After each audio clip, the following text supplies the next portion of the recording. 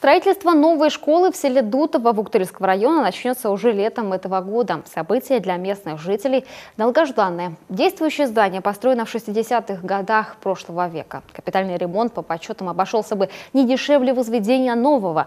Работу над проектом образовательного учреждения на 110 мест начали еще в 2011 но в связи с уменьшением численности детей решено строить школу-сад.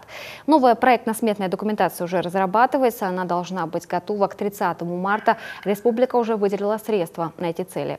Школа будет значит, построена на 60 мест э, значит, обучающихся. Кроме того, в эту школу значит, э, войдет еще э, значит, 20 детей дошкольного возраста. То есть школа будет такая значит, двухсекционная. Здесь будет общеобразовательная школа, и здесь будет ясли-сад.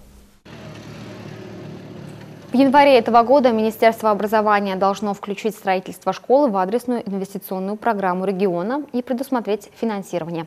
Сдать объект в эксплуатацию планируется к сентябрю следующего года.